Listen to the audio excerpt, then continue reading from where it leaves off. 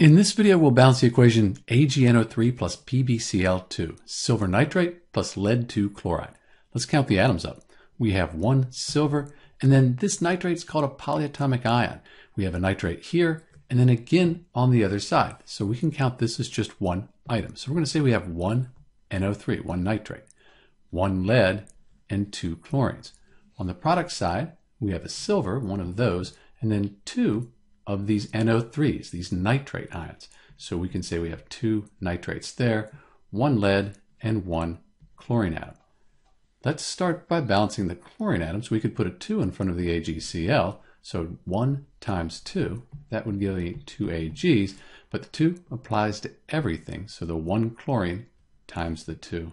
That'll give me 2 of those. So now the chlorines are balanced. Why don't we fix the silvers next? And that looks like that should fix the nitrates as well. Let's try it. So we need two silvers on this side. We put a coefficient of 2, 1 times 2. That gives us two silvers. And then this nitrate here, one of these times 2. That gives us two nitrates.